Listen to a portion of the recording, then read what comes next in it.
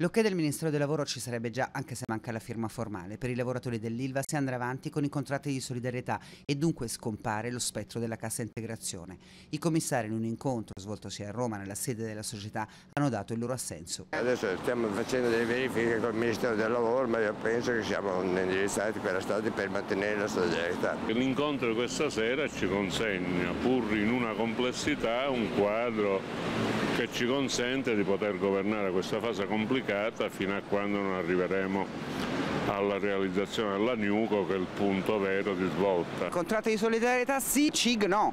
Esattamente, l'azienda si è dichiarata disponibile a mantenere, chiaramente essendo l'alto formale del Ministero del Lavoro che consente. Mancano i numeri certi, anche perché molto dipenderà dalla chiusura dell'Alto Forno 5. Garanzie però sono arrivate per gli stipendi di gennaio che verranno regolarmente pagati. Ci sono state alcune eh, chiarificazioni su una serie di allarmismi che nelle settimane scorse erano state messe in giro. Nell'incontro si è parlato anche dell'indotto. Ci hanno garantito che nel decreto legge che sarà approvato nei prossimi giorni eh, c'è la possibilità di garantire i lavoratori pagando le retribuzioni e evitando di sacrificare quel polmone professionale che in questo momento è importante. Avete parlato anche dell'indotto, lei sembra che abbia dato delle garanzie almeno del suo impegno ovviamente. L'impegno c'è, bisogna trovare anche i soldi.